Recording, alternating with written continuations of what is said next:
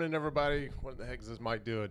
Uh, yeah, another YouTube live stream. Here's what I want to cover today. Yesterday, Bigger Pockets' David Greene stated he wasn't planning on a recession, and uh, quite frankly, he's wrong. I'm going to tell you why. I'll be right back.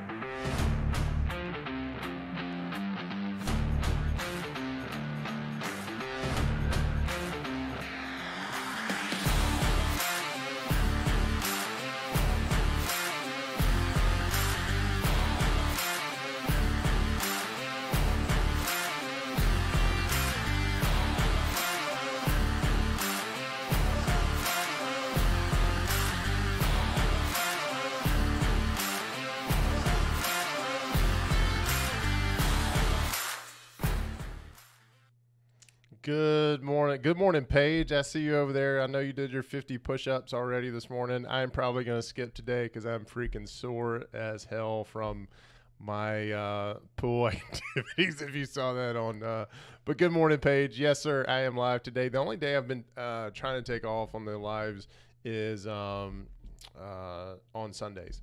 And uh, the reason being is I don't like doing these. I, I, I was talking to um, potential investor this morning, and I let him know I'm doing these lives. I don't like doing them. Uh, I can't wait for day 30 to so I can have my out because this has been my 30 day challenge. But uh, what's up, everybody? My name is Jay Helms, and if you're not familiar with my story, uh, yeah, Ninja in the pool. Um, I've been actively investing in real estate since 2014, and since then, I've grown my portfolio to 328 units. I did this while working a full time job and helping my amazing wife raise our three incredible kids. Now, I am just one of 38.6 million Americans unemployed to, to due to COVID 19. And because of our activities over the last several years, we're able to comfortably exit the W 2 world and focus on real estate investing full time. So, today I want to talk to you about three different things. Uh, BP's David Greene is wrong about the recession. Number two, my big win from yesterday. And number three, my, my one thing for today.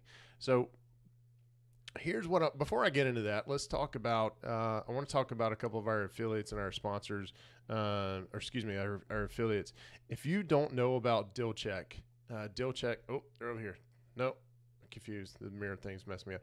If you don't know about DealCheck, check them out. They have the easiest way to analyze a property. And what I'll do is in the replay, I'll, I'll uh, post the, the, the replay link here for where I did a demo of showing you how easy the software actually is. And it's about five bucks a month when you commit to an annual subscription and you use the um, promo code W2CAP.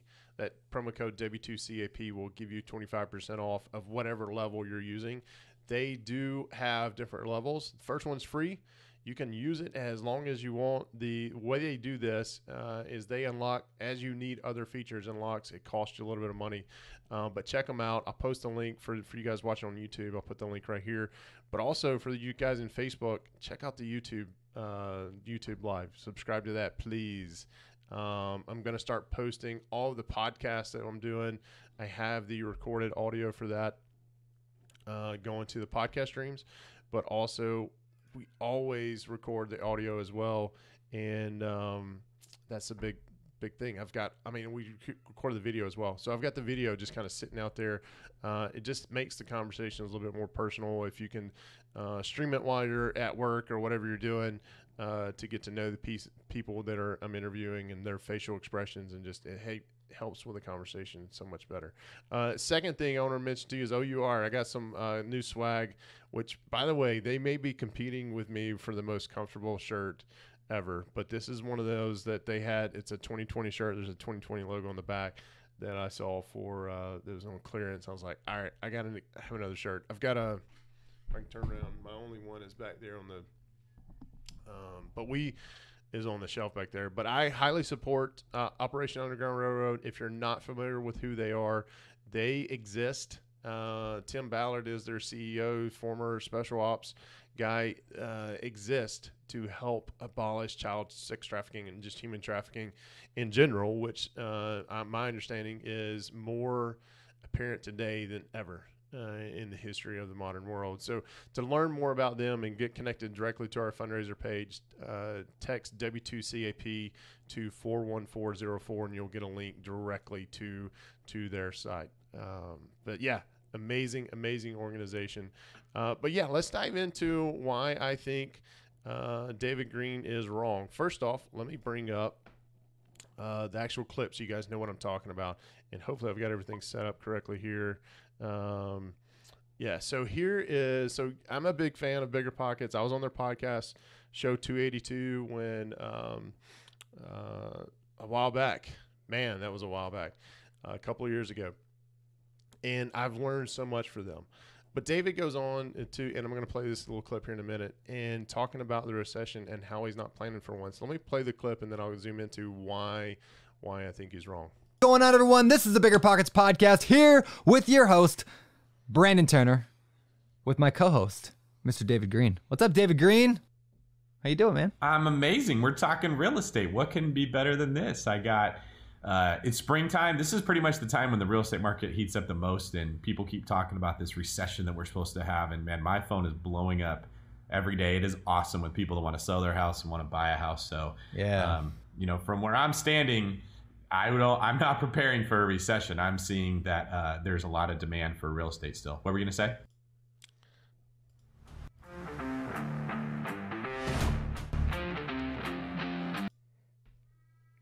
Going live. People I still haven't figured out how to click the right button. But as you can see, David there talks about he's not planning for a recession, right? Um, by the way, I don't think David is trying to be malicious or, or, do anything like that or cause anybody any kind of confusion. But as someone who isn't compensated on a real estate transaction as any realtor, he could be very well too close to that situation, right? Um, I think there's a couple of, of, popular sayings that you can't see the forest fire because of the tree, sort of thing, or running with blinders on is probably the most uh, accurate one. But here's why I think I'm, he's wrong, and, and I'm on a quest for my next apartment complex. Right, I'm telling my partners and my potential partners that I don't expect any deals will really be worth looking at for next several months. Um, now, if you saw me on uh, Facebook uh, yesterday.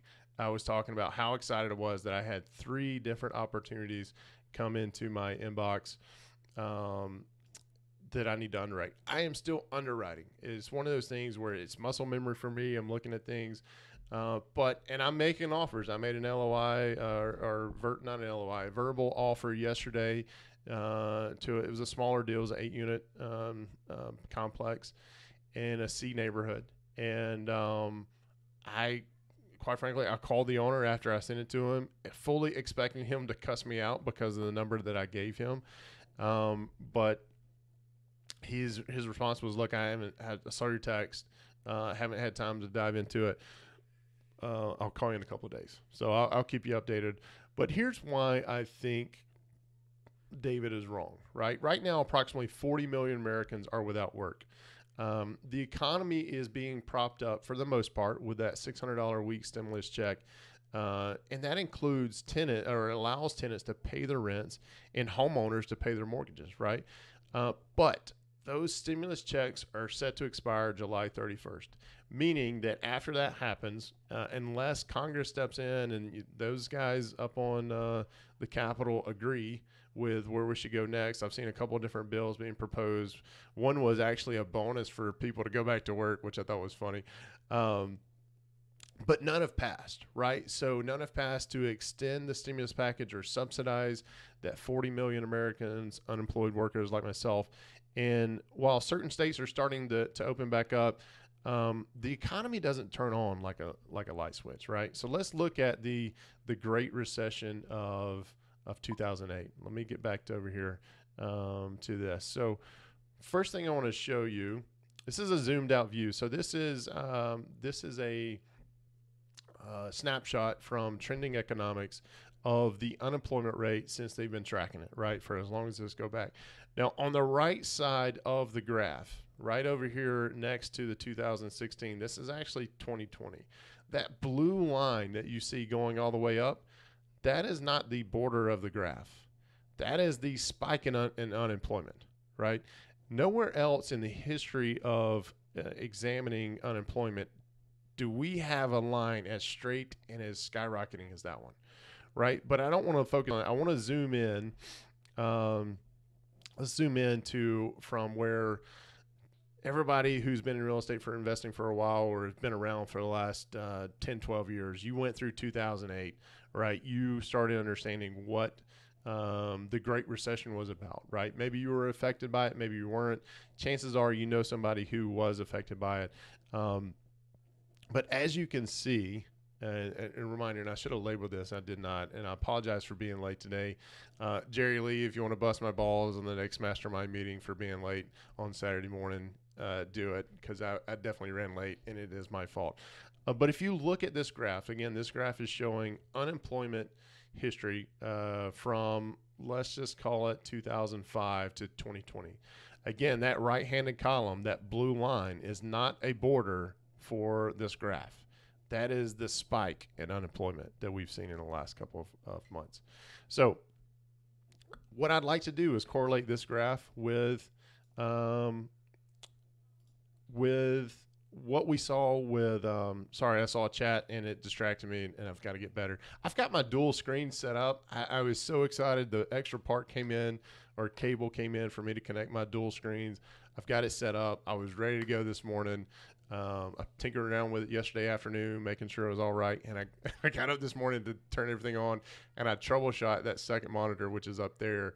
It won't come on for whatever reason. So um, the show must go on. But this graph is very interesting because as unemployment rises, what we can also correlate is the height of the real estate investing market, right? So in 2008, 2009, we saw the best prices, people were cashing out. Um, maybe 2007, but leading up to this spike in 2008, um, and it kind of capped at 2010 and started going back down, as you can see we started seeing people buy real estate. Matter of fact, if you bought, uh, let me bring this up, uh, mark some stuff up because I realize that you guys don't get to see what I'm pointing at or with my mouse cursor, you don't get to see for whatever reason. But if you bought within 2010 and 2016, you got things at a, a pretty much of a discount, right? Now, I think it's worth mentioning too that even though it's at 14.7% unemployment right now, there are analysts out there that say those numbers are fudged a little bit, that it's closer to 20%. Uh, I'm not going to get into all that here, but let's just know that that right side of that graph where we are today, we are on unprecedented times, right? And I hate that freaking saying because it is way overused. But if you look at, let's go back to the entire snapshot of unemployment history. Never in the in the studying of unemployment have we seen this type of, of unemployment, right? At least according to uh, trendingeconomics.com. So, so check them out. But let's go back to this zoomed in view. So 2010 to 2016 was a huge buying opportunity. Uh, matter of fact, we bought uh, we bought and sold a lot of properties uh, within that time frame, and we did really well. Right now, we we bought some in 2017, sold some sold some in 2019, and then we reinvested those funds um, money back into some larger uh, syndications. So what I'm saying here is, and this kind of wraps this thing up, is that if you overlay the graph of unemployment history versus uh, what the real estate market has done, they correlate very well. Right, there's a lot of parallels. Now, the thing that the difference here is, and I was talking to, to um, somebody about this earlier this week. The difference here is in 2008, there was no there was very little stimulus money, if any. Right, there was no EIDL, there was no CARES Act. Um, but I think my opinion is that is just prolonging uh, the soon-to-be recession because and could even be a depression right which a depression is is um, three quarters of negative gdp growth um, i think uh, that we are headed that way um, quite simply because that number is way too big, right? It's almost double, um, depending on who you think. It's it's uh, it's it's forty to um, fifty percent of what we've been through before. So I think something's coming. It really depends on what the government's going to do with these stimulus and care and uh, stimulus money, and CARES Act. Um, because if they don't pa- if they don't pass a package or um, help with that, the economy is not going to turn back on. This is the point I was trying to get to earlier. You know, CEOs and small business owners, they're watching this economy. They're not going to turn things back on pretty quickly because the other fear there that you'll probably start to see is as things starting to reopen is that um, the other fear that's been put out there is that cases of corona are going to start coming back up. They're going to start spiking again. We'll see, right? We'll see if that happens. But if that does happen, then we go right back through this cycle again. So I think this is where I think David's wrong. Uh, and I'm using these data points, the unemployment history from trending economics, and what we all know through. And if you look at the same graph, uh, I should have grabbed one to overlay it, but of how the housing market did, it's very much the same thing, right? Um, fair, fall very similar trend lines. So, by the way, um, I'm grabbing the stimulus package updates from Erika Kullberg. Uh, she is an attorney who is, is focused on personal finance, and if you you can follow her on YouTube, um, she does a lot of stuff on Instagram as well. I'll put the link in the description for those of you watching on YouTube, but I'll also put a, I think I can put a link in here uh, to pop up. But um, no, nonetheless, uh, Erika's been a good resource. She puts out almost daily um, updates around that, so it's pretty good. Um, so, in my opinion, if you're not paying attention to the historical data around unemployment rates and how it overlaps, that is a deadly mistake. And yes, that's a play on words um, with their the title of the show that David and, and uh, Brandon were talking about. Um, but here's what I like to do. If you agree with me, I want you to hit the like button. If you disagree with me, let me know in the comments. I want to know. I want to know how I'm wrong, right? Um, all right, so that's that's a big thing. I want to talk to you about how I think David Greene's wrong. The other two things, my big win from yesterday, and then the third thing is my one thing for today. So I tell you about my big wins, not to brag. Uh, in some cases, I'm going to go through my spiel here. In some cases, uh, you might be thinking that that's not that big of a win, and that's fine. The idea here is recognizing those big wins as part of a middle game that you hear enough. Uh, you hear enough of those, you start to recognize the momentum that you have around you, right? Uh, we do this every week in the mastermind. Uh, I'd love to see your see your big wins in the comments.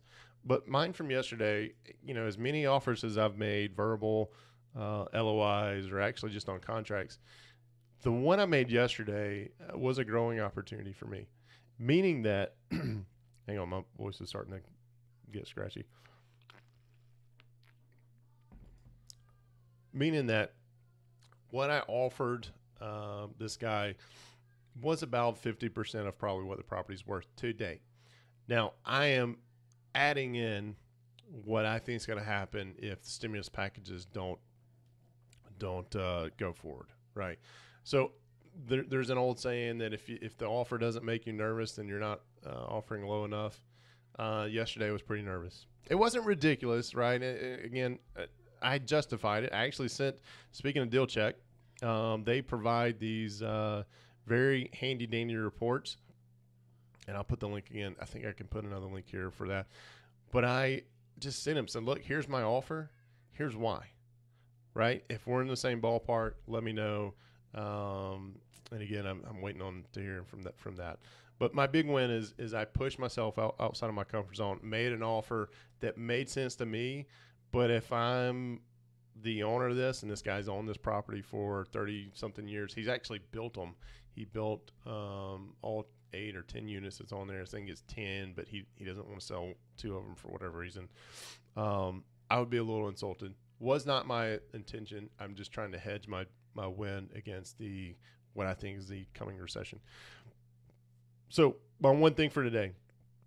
Same with the, the big win. I'm not telling you to be a braggart, just showing you that it helps – to focus on that big hairy thing that you may or may not want to do. Uh, if you're dreading doing something today, I'll give you a pro tip.